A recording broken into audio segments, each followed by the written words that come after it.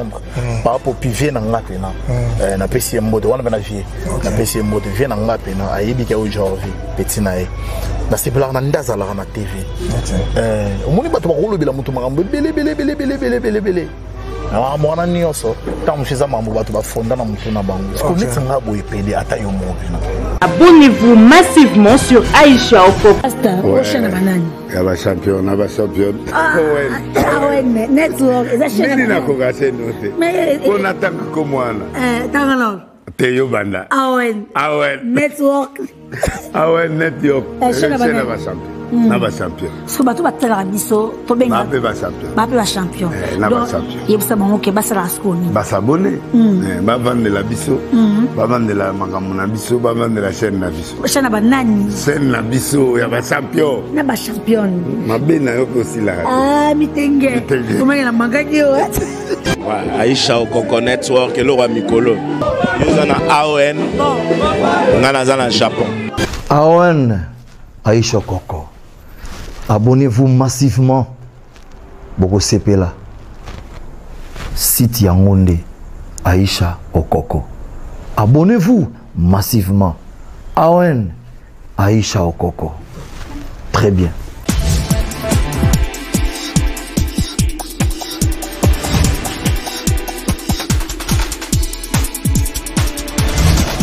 Il est un miso bato eza bien te ils ont respecté hein? tout on dirait moto ezanga bapara ondire moto oyo amibotama ye moko amikola ye moko amilatelaka mpe ye moko to bandokendaka kokutana kutanaka kaka na bato bato wana deya batanga basisa baklasse na bango bakoma kosala bazwa mbongo bongo biso yo kutu oza nango bien oza na yaya na bino nyonso osengaka bapesa batandi okangi kaka bana sasi mbe bonga nga moko tata nga moko mama eza réciproque yo mwana mwasi ose laisse faire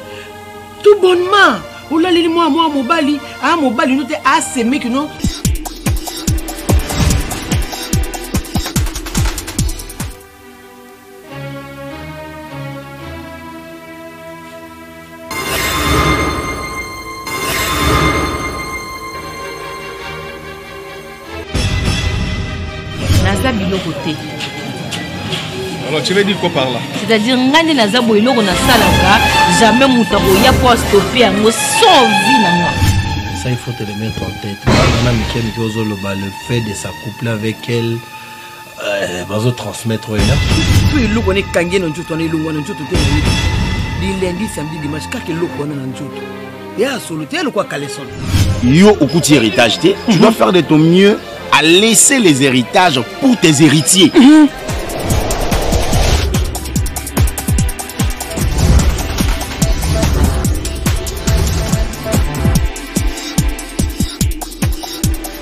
Merci fidèle internaute au besoin d'Abisso partout dans le monde entier à travers notre chaîne AON Aïcha Okoko Network en tout cas nayebi ki boza vraiment ebele ebele ebele kolanda biso ça départ ya heure oyo moto azwi libaku to occasion ya kokutana kotala émission ba bonjour mpe ba bonsoir na bino tout vraiment oyo bozolanda bozolanda biso na AON Network Aïcha Okoko na profite mpe na occasion ya kopesa mbote na ye moko grand poète Nzambe oyo apesaka biso souffle de vie pourquoi pas na mama aisha koko mpe napesi ye mbote pourquoi pas na héros d'alombre nde bozomona biso liboso ya baetandoki na bino liboso ya batefi na bino euh, lionel euh, ngai abengaki mingi chamala donc mosala kitoko merci na équipe mobimba ya awen network aisha koko merci na bavraivrai na biso donc tobaka bachampion na ba championne parce que biso tozalaka na ba championne na ba championne euh, merci vraiment na bato to olinga elvis yanfo merci na na dadi ya kuzakani puissance mais 60 na paris euh, merci na euh, remin de mas ndoya papa ndoya papa ya remin de mas ndoya papa na biso mbote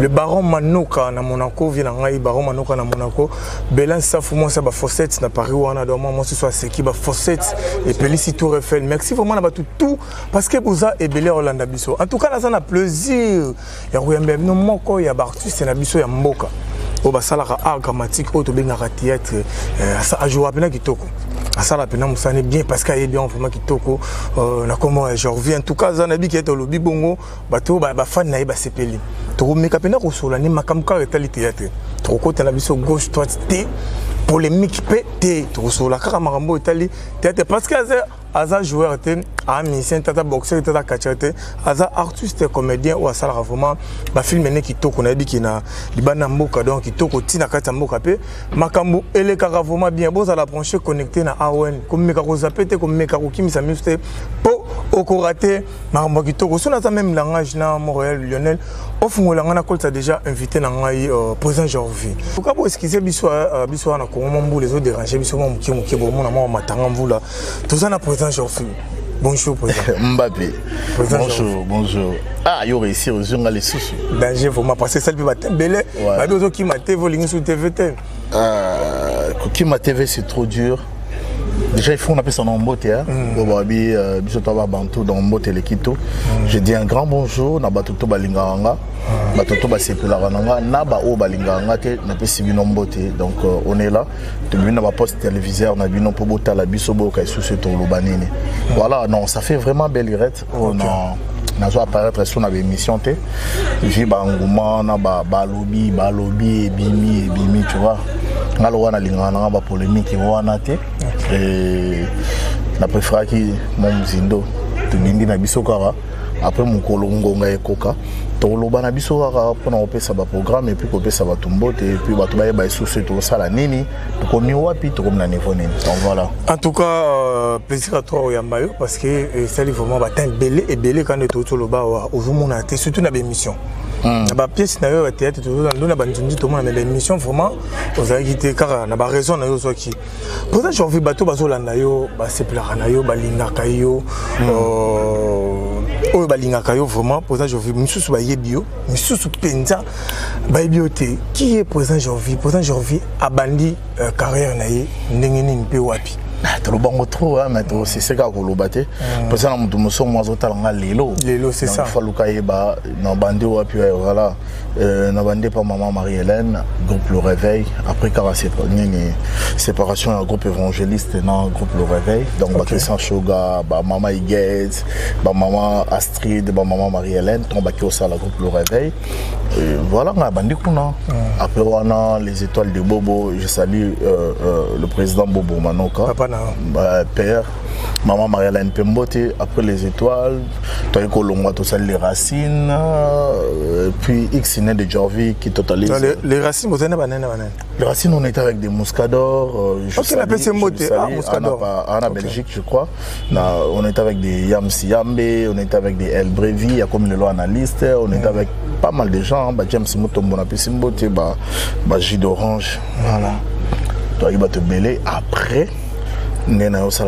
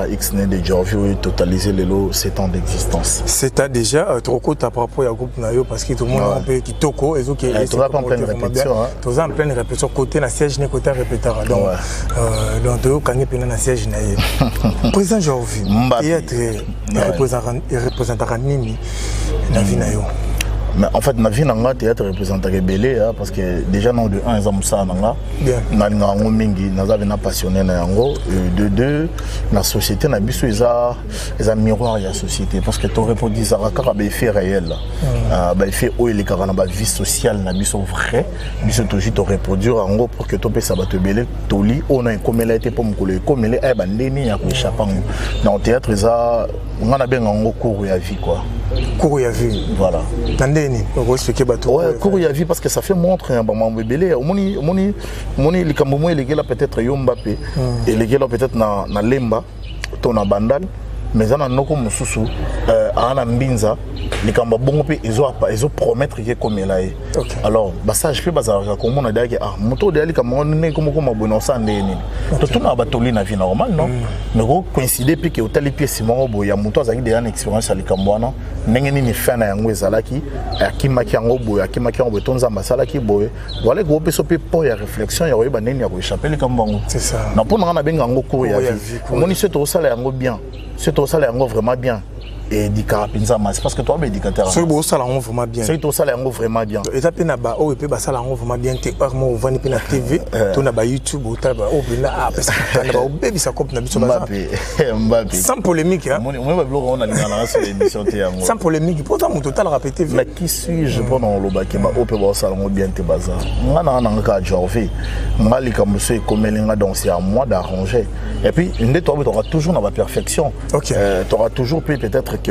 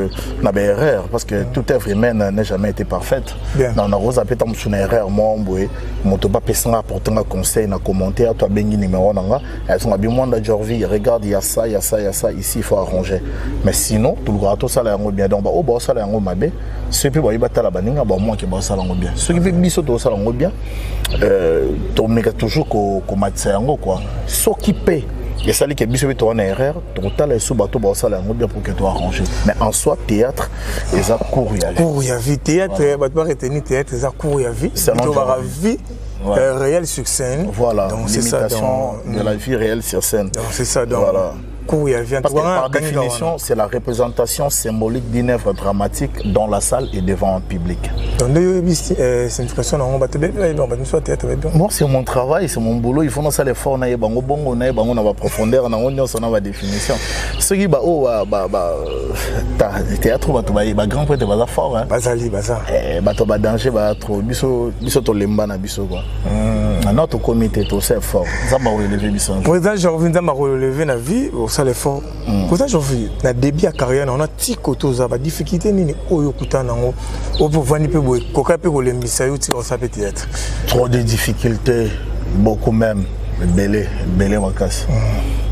mais est ce que eza important tolobela yango bon peut-être pona kopesa nayebi te ekoencourage bato to ekodecourage bato po ya na baencourage bato hein. mais eza na bato mosusu bana bandako balingi basala mpe mosala biso osalaka oyo oyebisi banini boye ekomi odecourage mais mosusu mpe baza bakosala mosala me bakomi kokoma decourage ah efuta te a ah, tozonyokwamaezofuta te mais eza mpe na bato ezofuta bango hmm. peut-être na nzela na yo okomotive mpe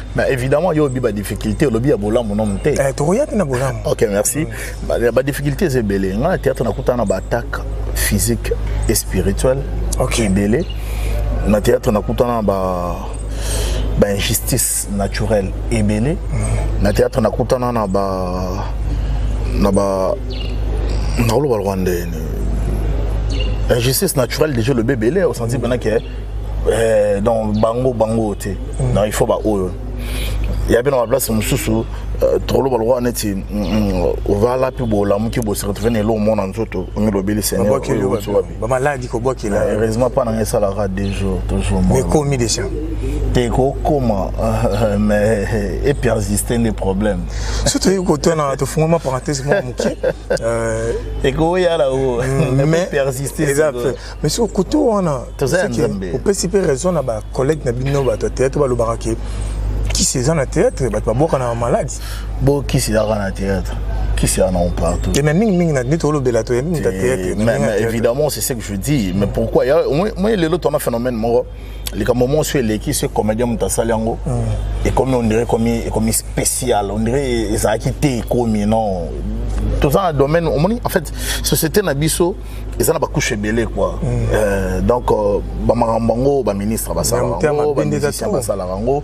bamama wenze mpe bakoma oteka na bakisi bazali euh, bapasteur bahomme de dieu ya bakisi bakoma donc eza babureaucrate ya bakisi bazali bavendeuse badanseuse ba...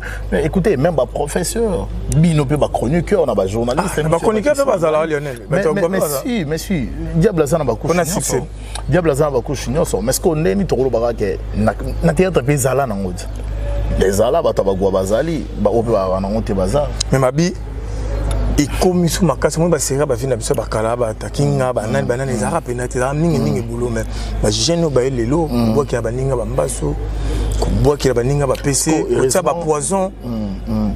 mitema mabe koti oyo babengisa na filme te kobengisa ete fina ye ngana tosola te benga oyo kingani donc motema mabe koti omoni siko mama nalobi yango yango mpe ke na question na yo ba mm. injustice moko naturel omona moto mosusu bando osola bien mais seri moko boye atyela yo mpe esprit atyela yo mpe esprit bon akosala ndenge niya makambo na ye mais tokolobaka te ke sera kalakisi ezalaka te sera kalakisi mpe ezalaka ndeti ya lelo te ngai naomona mbinza mm. bato bayebi bayebi toa mpe na grand prêtre toa mpe na bagrand prêtre oyo babima na théâtre kaka na mbinza biso debi toaka bani mpe toyebaki ya papa ana aka misiki papa ana aka ndoki papa ana aka boye tebi na biso ezalaka nango ya lelo peut-être kaka nde bato bakomobima kobimisa yango mpe na bandenge moko mais ngai sikoyo nalobaka moto akisiplinaka aloba ne mingi te okay.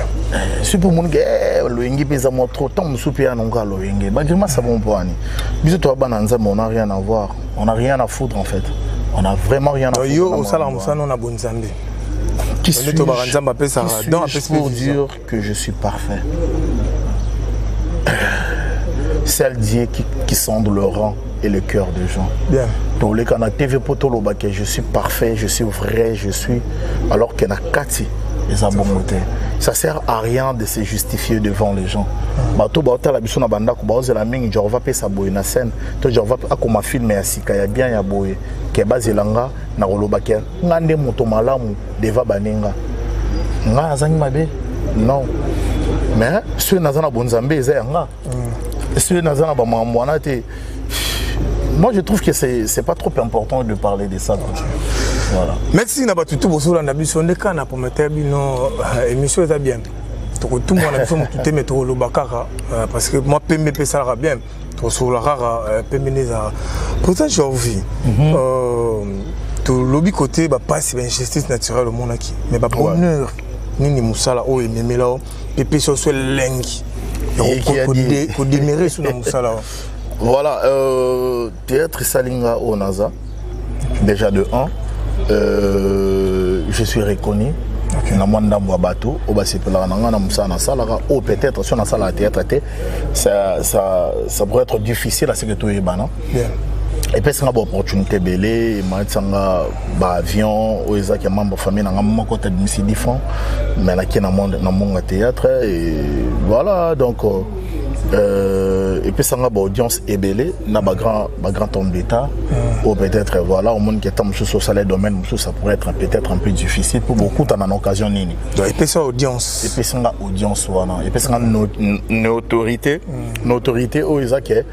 moto moko baza autorité bazo reconnaître non obeta yo lisolo moko ngai une fois na kala mm. excusez moi je me sous estimé pas mais naza na yanoko mimona mwa grand dimi mm. mais bizarrement navanda boye liste ya bacomédien moko ebima boye kombo nanga mpe na kati fe tokutana na autorité moko monene ya mboko mm. kombo nanga mpe na kati mamona obeta awa euh, bato to baolanda biso bayebi surtout bacomédien bayebi naya na se retrouva kombo nanga ebima troisième nom cela veut dire batangi moto ya liboso batangaka ezalaka modero totokani ya mibale euh, euh, baki kotanga nani modero ya mibale ezalaki ezalaki je crois mama kalunga à l'époque après baye otanga nga après baye otanga bato mosusu mais tokaka pene ebele soko nge eloki markanga ezali kaka ndenge nini moto wana azobeta akoki kotya nkombo na nga Na troisième, euh, na troisième, na troisième non. Ok. Je vois donc bakomi na Yamode, Makalunga, Jorviko, dans les autres na nsima yango puisque eya nango grave te mpo biso tu tokotala na biso esika moko hmm. toando kotala na biso esika moko mais sikoyo elo elekeli yango eza ah, moto yango okoma kombo sikoyo komona ekomi troisième mpenza na ndeni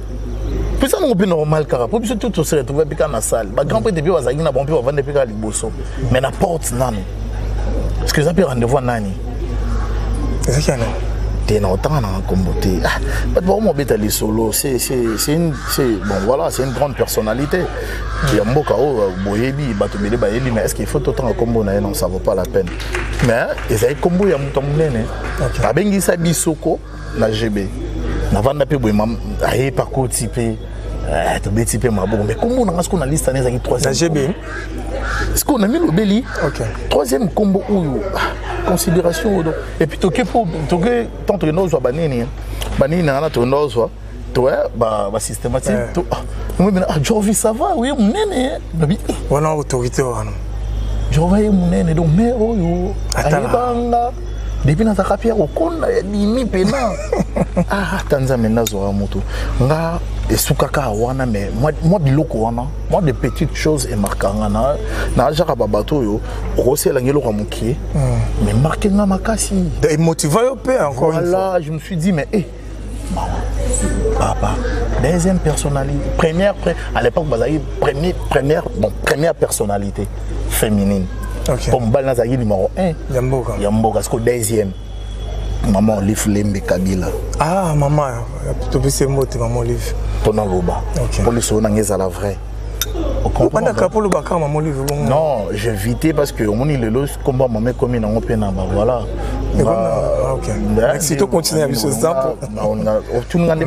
babon souvenir yango nabeti lisolo en réalité ezalaki nango euh, euh, voilà na ndenge ya nini te quoi donc c'est ça merci vraiment euh, batutu bozalaki boza branché attentif ya kolanda vraiment biso bozoyoka euh, président jorvin azokende tozokende mpenza tozokoeza parmi babon souvenir na ye ya kokutana moko ya euh, moko ya ya, ya, ya baautorité ya mboka na biso nakombo mama olive oyo mpenza mama oyo asala mamba bien en tout cas aza mama oyo fo kofélicitaka asala mamba bien nazalitinga apesi mbodi fo kofélicitaka moto to évite na biso kaka komartelaka tobetela biso masolo na biso esalaka mpe bien ti esalanga trop bien na trop bien ok Parce qu'on a olinga ndete kombo eh, kombo mère. OK. Voilà. Donc tu as mis son panzi, na tangi kombo maman parce que tu m'as dit ba bon ba, ba bon souvenir ya musala na théâtre. Okay. Mm. Na la question siko que oyo à part théâtre, si on a sala musala mususu. Comme son na limite que tu ngeta kutana na vie pour to so la to kutana na circonstance nini. OK. Voilà et le théâtre apporté là et puis apporté là belé pour citer que cela. oyo eza mpena mwa spécial mpo na nga poza janvier bato bazolanda biso na award network baza vraiment ebele ebele bato bakokomante bokomante bapele ekokota poza janvier yo oza oye na époque ya ba cd cassette nzonzingi ya ba cd cassette to youtube mpona bato bazolanda biso mpena bameka na kocomprendre président jorvi aza na kote nini parce que towana bato baye babandi kamba moko na youtube banzonzingi na youtube yaa na bato babanda na bacasete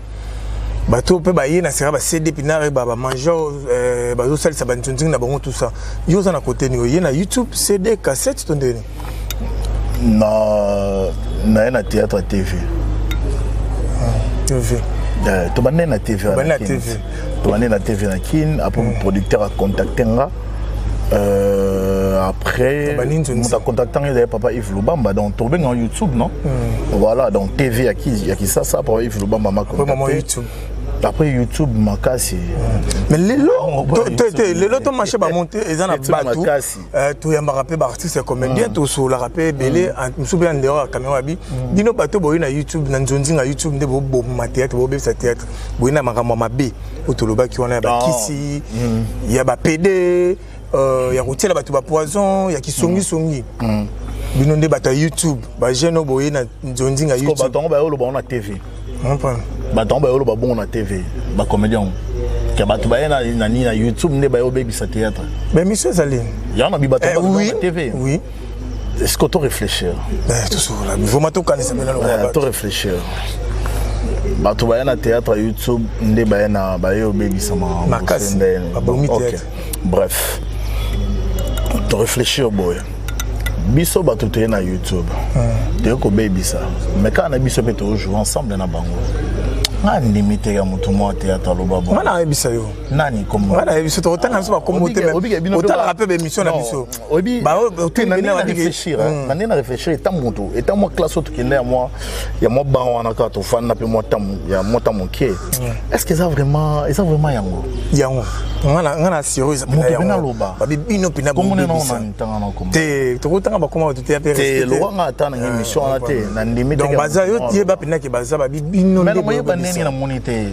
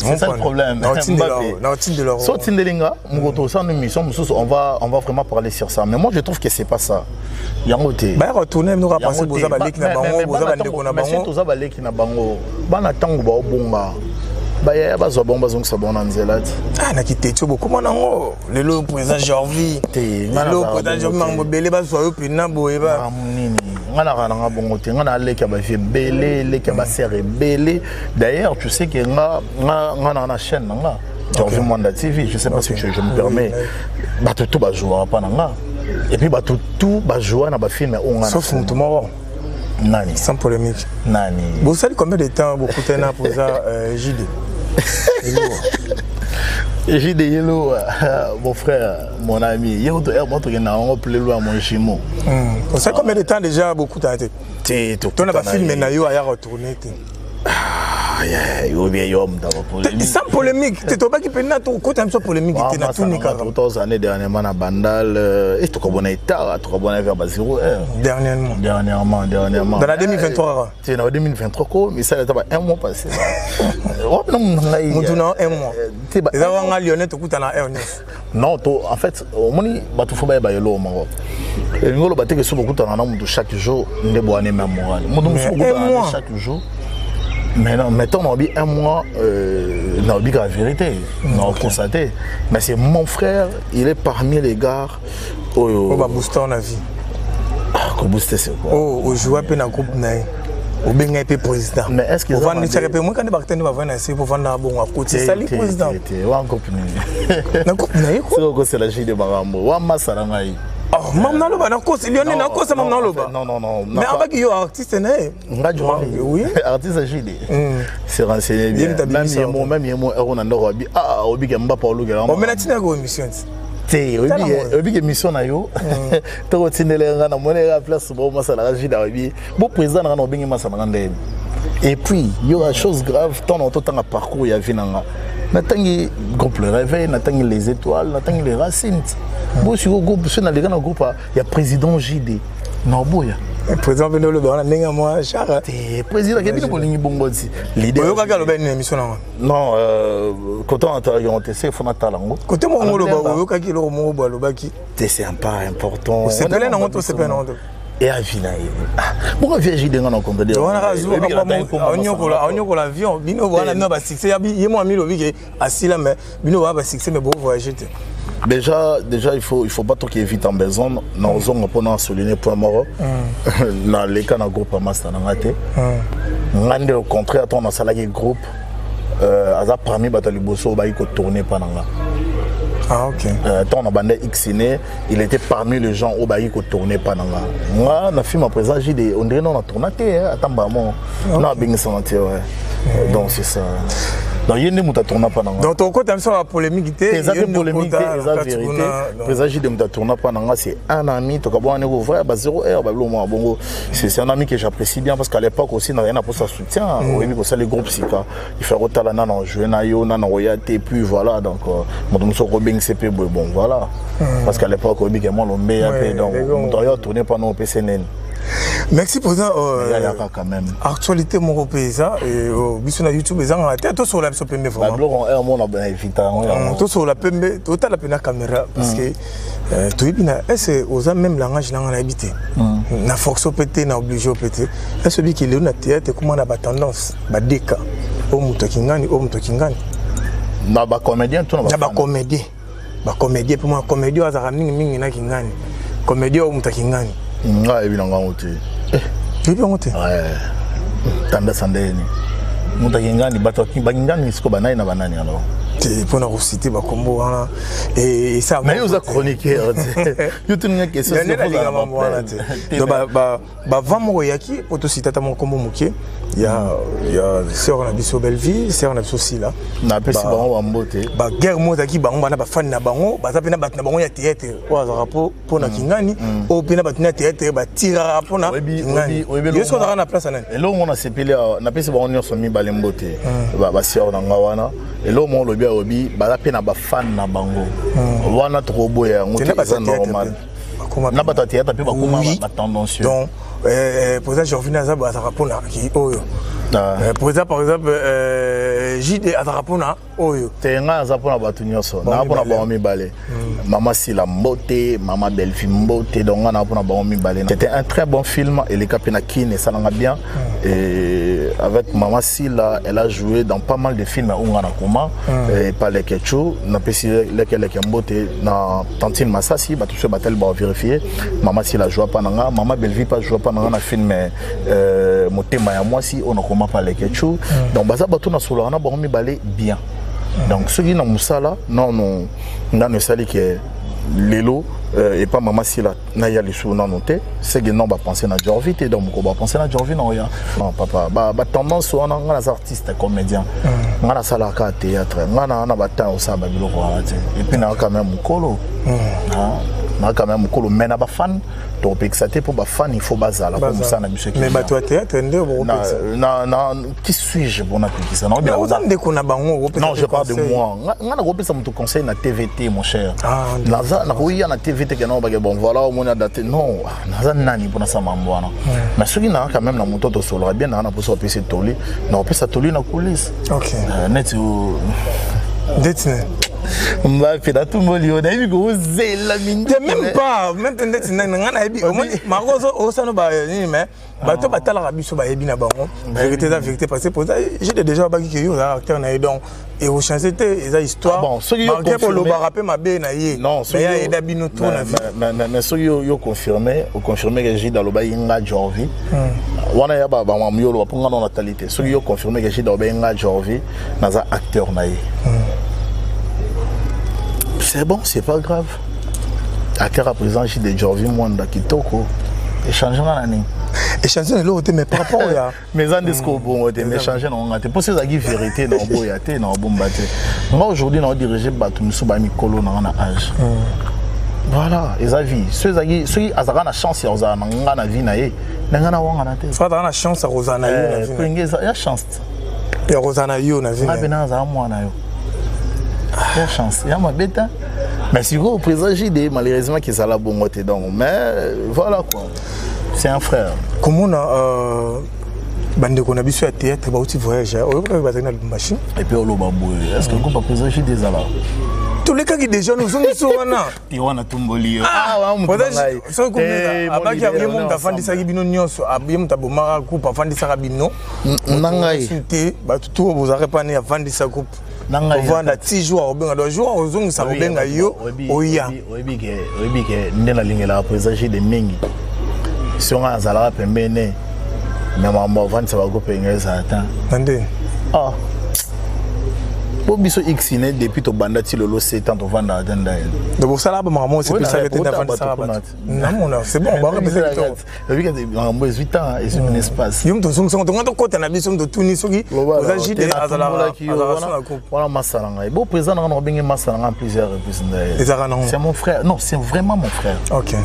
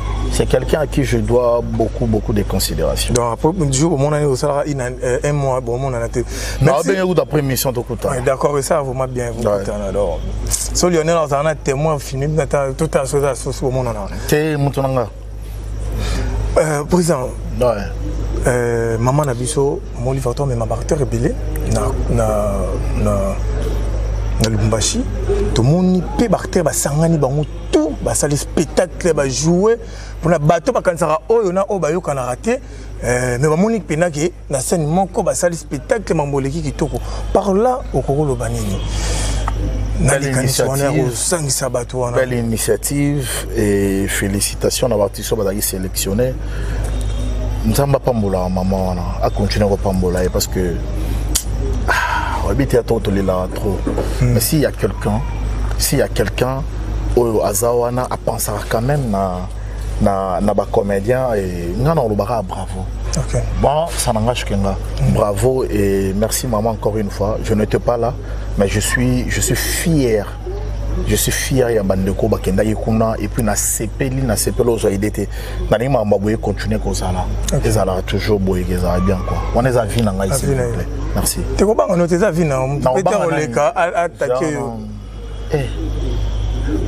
potempo namona mwa bakobanga mo motu moko ta otaki eza vi na yotikalaka kala oni ozongisanga nango nabangaka motu te nabangaka nzambe obangaka nzambe ma poza jorvi ere ovandaka po tozokende vraimen malai malembe na rochete ere ovandaka po tokota tolobela mpena mamba groupe na yo jorvi ovandaka mpena bo baremarke wana ya ndeti ngai na yo kwa babisangaki ozaka fiere oza na kisi ya domination misu na yo so bafille bamoni yango ofolaka banzele obotolaka banzela ya bato oza garçon moko rancune obebanaka na rais obebani na ada ocreaka donc ozalaka na barancune na bato tu wana est ce que ekomelaka yo mpe garçon moko orgueilleux euh, étant chrétien nazonga na bible bible elobi balobelo mabe me bakutu nango te okay. je crois il y a aussi une grande différence entre fier na orgueil mm. bon bien que ngai mona mimonaka bongo te mais si moto alobi quand même que naza fier je, je, je préfère un peu ah, ya koloba ke naza orgueilleux okay. nayebi te so comprendre il y a une différence entre fier na orgueil mm. mais si moto alobi ke eh, président jovo ozalaka fier eh? nakoprefere quand même ke moto ayebisanga nazalaka orgueil mm. parce que euh, orgueil l'humilité précède, euh, précède la gloire mm. nzambe mm. alobi tomikitisa mpo lobi ya tombola mais nzambe arésistaka na baorgueil bien sûr évidemment c'est ce que je suis en train de dire abi mm. tomikitisa mpo ya otombola biso so oza orgueil oza otemp oza kotombama déjà nzambe asala nini donc biso bachrétien euh, on dirait on dirait eza bongo te hmm. peut-être moto akolobaki aevitaka bamama mosusu evite ase réserve na ye bato mosusu bakojuge yango fier bato mosusu bakojuge yango boye mais en soi je ne suis pas comme ça yo oyebi ngai ti hmm. oyebi nde te yango nayebisaka mpe nayebisaka mpe moto mona bi te nde bomonaka ye wana aza nde bongo te eza peut-être euh, aza nde moto ase réservatoire moto mosusu akomona place mwa bose réserve mpo nakozala mpe naa nango te me nalie mpe na litutu oyo nde mateke naa nango te ekozala mpe nakende naa nango te mpe nakende abeti ya ba 2 3 jours eza te me naa nanga mpe kaka réserve eke nanga bongo me moto mosusu so aza nango te aobelelaki aza nango te ekobamba bazwaki yo mpe boye mm. d'accord kosenga eza nango mabe te mais je parle peut-être na mwa caractère mm. non ezalaka bongo en tout cas je suis désolé soki attitude na ngai eblesa moto moko amona ngai fiere makasi kosalaka evite je, je m'excuse pour ça mais na rabongo te mais orgueilleux nde na permettre te moto ayebisanga ke naza orgueilleux parce que na orgueilleux te rancune ada rais bato obebaka na bango fort trop na vie obebaka na bango makasi okreela bango banuit okreya bapolémique mais bobongisa na bango bajeune wa yo moko moto otuna baquestion na yo mo moto ochange na suka kaka bobongisa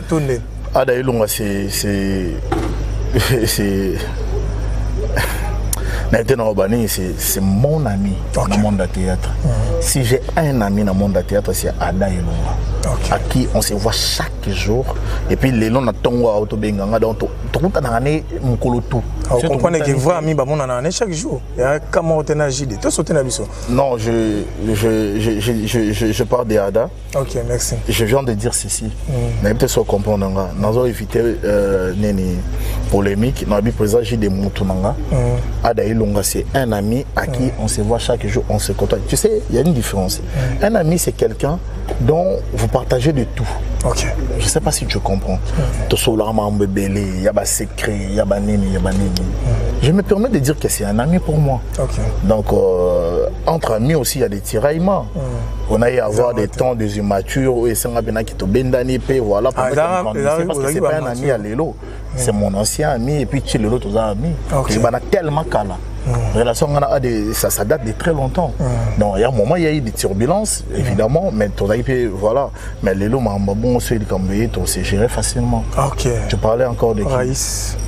lobola mm. je, je lui salis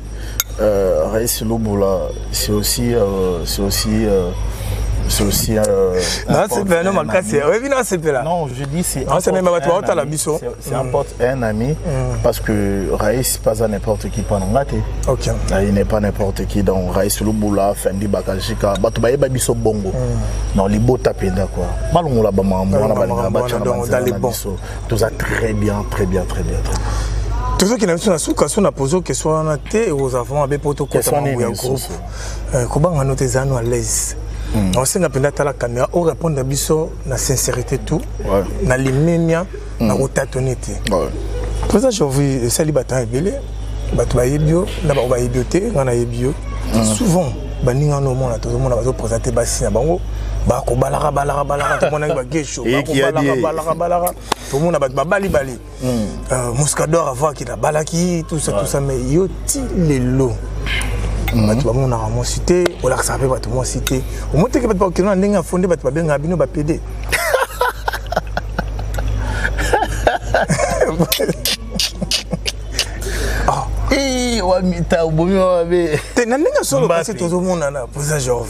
toloba pene na poze oza chaine ya monene bato bazolanda biso partout dans le ah monde en tout cas je tozobanga ekoma bongo nde babengaka bakalitation ta question m'a épaté quoi ok merci c'est une très belle question et façon ce qu'on formulait yango mm. na place wa atterrir ebomi nga mabe je salue Odija Mwanda plus beau que son père euh, mon fils okay. je lui salue euh, libala eza eza concurrence te libala eza teke mpo moninga abali yo mpe fowe liso bala non parce que après avoir kobala événement na eleka na otombo so na jour moko mm. et après c'est une nouvelle vie oyo ebandaka alors na nouvelle vie wana il faut yeba koassume mm.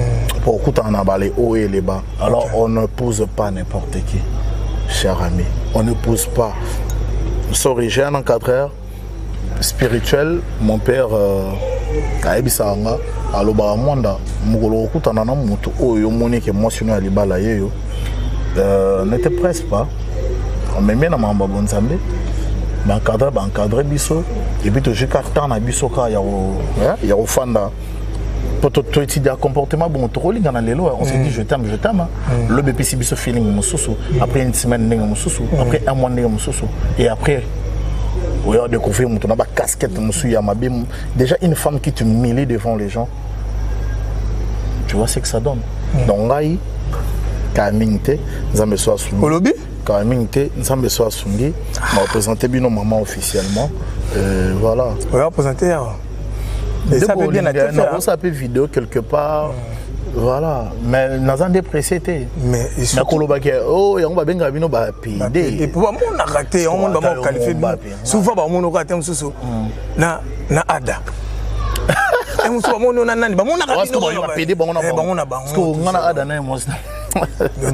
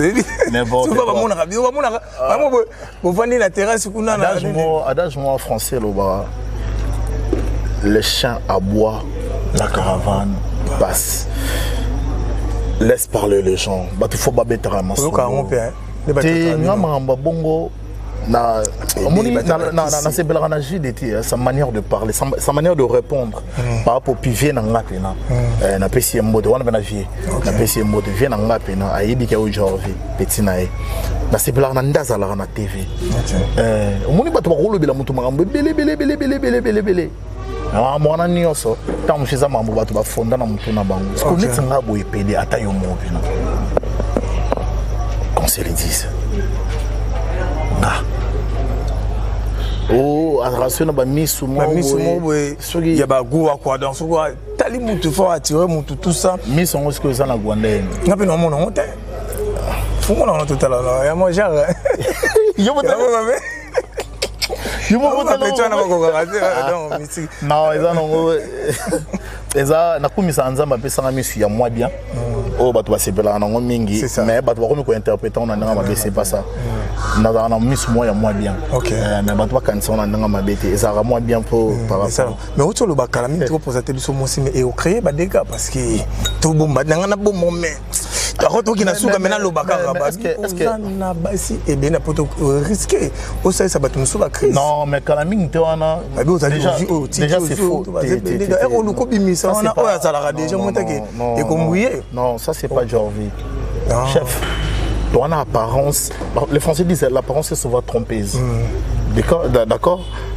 lelo tokoya na apparence moko ya koloba ke bato baka loyenge bagarçon baka be non c'est pas ça nga naza l'unique garçon famille na nga okay. je suis l'unique garçon aujourd'hui on était deux grand frère nanga kufa na tikala nga moko mm. alors tout mes permis et tout n'est pas utile okay. on est jeune on peut tout faire mais nga na oyeba ke ah na otya lokolo ah na otya lokolo te okay. parce que lelo soki corps mama na nga moto akopedre nga bandeko na nga bakopedre nga tobotaki bayaya nanga na bayaya basi misato wa mm. mais bango nyonso bana na bango noko aka moko ngai okay. est ce que moi ozo comprendre okay. donc euh, bana na bango baozanga oncle mm. alors natalaka mpenza so na obi nazongela ngai akoli na vie ya, ya lix lix grave temps parce que so na bino mema vie na loyenge yaya naza wana te je me contemple de ce que je suis et puis nande non mère ara moro ba retenir mère ara moro vie privée nanga vie privée nanga je pense qu'il va dévoiler bientôt hmm. euh ba toi ça na bon pour ba rumeur on a pesi la to les mères comment on les kilo est-ce que yanga pe nous assure qu'ils a prioritaire donc barimeur eleki to tomona mare comme ça bato bakomona mare nde balobaka lobaka wana malongabi kala mingi te kala mingi te ekozwa mpe une année ekozwa mpe deux mois ekozwa mpe une semaine ekozwa mpe deux jours ekozwa mpe voilà merci vraiment wana ezalaki euh, présent je reviens en tout cas tosoli kitoko donc boyoki baquestion na bino yango topose ya répondre de ndenge bomonelaka ye ndenge azalaka nde bongo te approche moto mpo comprendre azala totika kojugeaka bato na mosika totika kojugeaka bato na mosika oye kuna akafe aye kuna azalaka boye te la prochaine moto okokomprendre oyo ye azali président parce que tozokende na biso na suka ya émission mhm. euh, baprogramme ya mouvement na yo biso repetaka wana kutu aux internet bon na profite chaque lundi jeudi euh, voilà awa na kitoni maya toza na biso tobundaka bafilme no ya libanda Ouais, Jorvi Mwanda TV ezali to relancer ba projet na biso mm. to sala film mon pota et na français blessure hein. ah, voilà donc to sala yango il suffit qu'on a contacté bat na biso mm. et puis to check moi stop par rapport à la production na biso mais mm. sikoyo poto jaki mwa ba monétisation au début là sikoyo to relancer pena bato ba, ba s'abonner encore massivement na Jorvi Mwanda TV ya minene zoya na pesi mbote euh, pota ka mingi te olingaka ba ora ba film mo trop romantique hein ouais romantique bato mosusu la place yo vandaka trop wana mais nzambe aza bolingo mais mingi mingi yo bojouaka mobali mwaka na basi ebele mobali moko anyokolaka basi pourkui nanga mpe nana nayeba no pourkui osalaka barole wana yo linga mais nasala yango te mpo eza ngai mais nasala yango mpo bato baza victime nango baza ebele ah, papa yo olinga yango te bon tolinga bato okomi kochange mpo bato babaki ekoma okoma trop sexy hmm. on va faire vraiment une fois en tout cas nayoki baremarque na bino tokomi kochange mpo botala yango mpe so mieux na bana donc désormais bafilme na biso ya jorvi monda tv hmm. soki botali yango boza décité donc ça n'a rien à voir na bamambo bwana omona kala euh, toyoki baconseil hmm. donc on va, on va vraiment arranger te monde nga okopie bobo makasi papa na na ndenge batemp de jeu wana nakoki kopie président bobo te mais tozwa non non non so olobi kokopie président bobo tosala eloko te comme innovation ah. mais nakoki kotire baquelques atouts okay. artistique oyo ngai napreciaka mm. nazwi yango na ndambo ya ngai nasangisi nasala yango jorvi okay. mais je ne peux pas dire être là mpo na copie moto mpo soki na copie président bobo nakomi limite carrément okay. donc voilà apprécier c'est pas mal prendre quelque chose du bien et pas ya moto eza mabe te mm. voilà on en passe question moko mpe eza euh, est-ce eza facile kodirige bato ebele kodirige c'est pas facile je crois que tosala émission moko spécialement na xini omoni ke baza ebele donc c'est toi na savoir ouais bachef bazali toi na digital agrondo omoni cordon na bango aza wana mm. chéri do secrétaire bato baza bashatak lebika baza wana bamanitu bameradi euh, komite mobimba eza wana to wana mina milala catalina aoya ye baza wana donccheftan de l'équipe to wana christine aza wana bakobela na bango banini biro eza mm. ata to wana mbongo ya grafe ya kofuta boye te mm. mais peut-être eh, soki tombike na siège ya siège ya tournage to na lie ya répétition tosala quelque chose kanda ezala ok merci président tokomi na suka un mot par rapport ya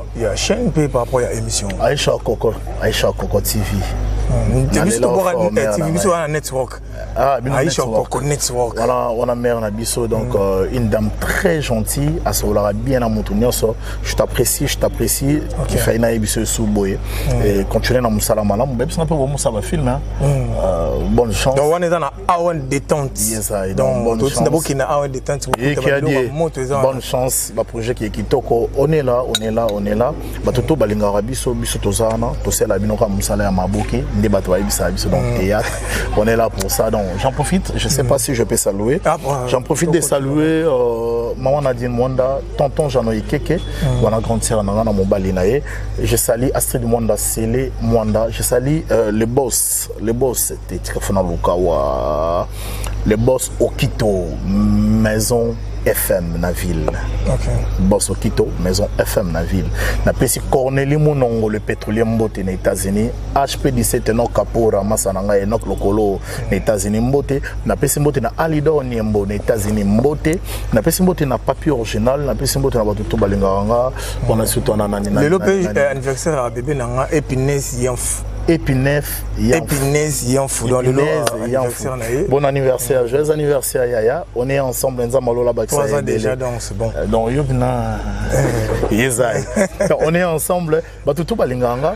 Na pesi mbote na Amanda, hein, ma bobila dawa.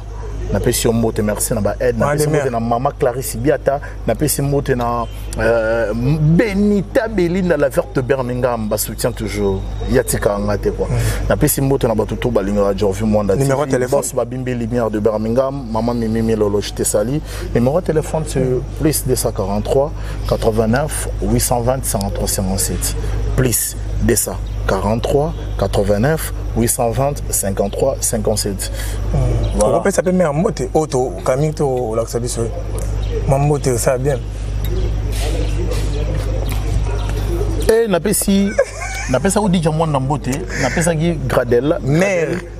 mbote napesi nike aka aka moda mbote napesi rodrik mesekisi nalobi nde mer oyo protete biso kala mingi te opesi mbote merci vraiment bokomprendre azobomba ye abona ye bayiba ye baboto ye parce bango na bango mpe babotolana nini parapasala yango bato basala yango matali bango oyo basala yango tali bango merci tobandaki vraiment bien mpe tosuksi bien merci na baabonne na biso ya aron network aisha okoko en tout cas bozalaki branché connecté na aron network bokotaka bokotaka bokomantaka bopartage bolike ezalaka vraiment bien soki bosepeli mpe na émission ya ngai na présent j'ai envie bokomi kaka so esengi azonga lisusu aresonga lisusu tozonga pale na biso ekozala vraiment bien makasi ba numéro eza ba commentaire na bino ezala vraiment bien bien bien bien makasi merci na bino tout Elvis Sianfule Mbappe de la presse congolaise chef terre na linga bino na zaka wana kosala musala po na bino bozara wana po na bino bosabona botalaka ba open na bosabone te boleka kaka s'abonner euh, pour une notification et la kayo olanda ba bureau ki to blenga bozalaka na Awen network merci na maman Aisha Koko Rumela Rumela Rumela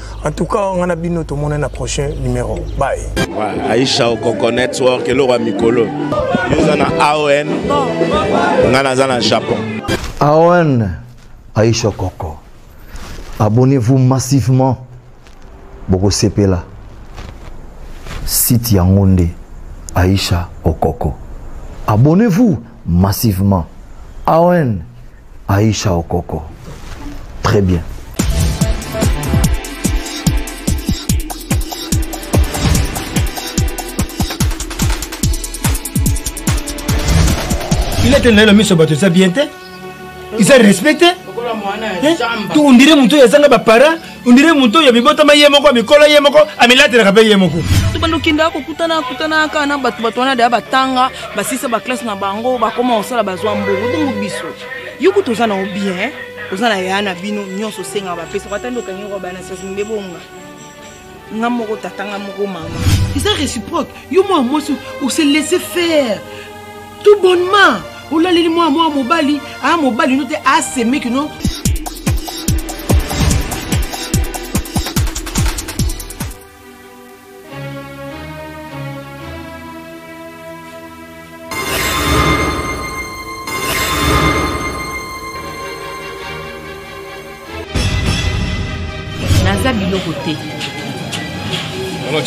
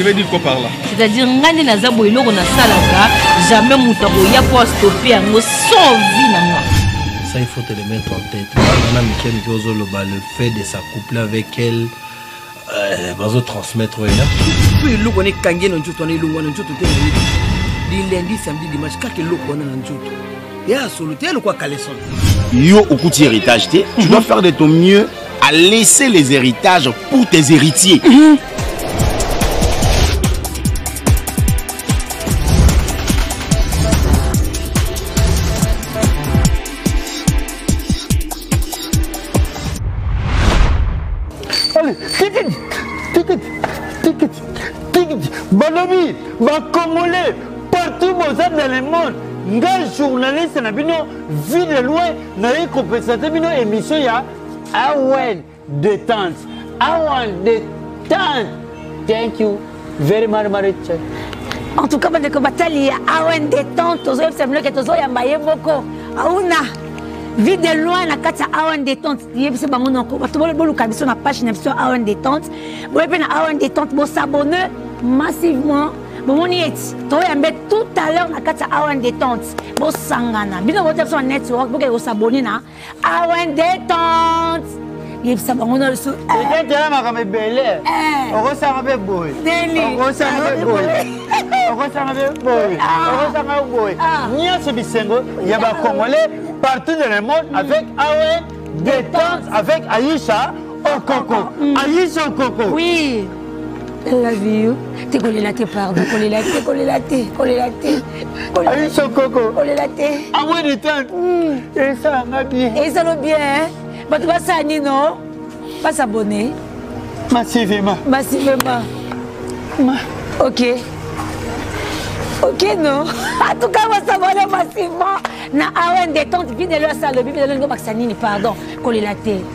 awa nde tante eh?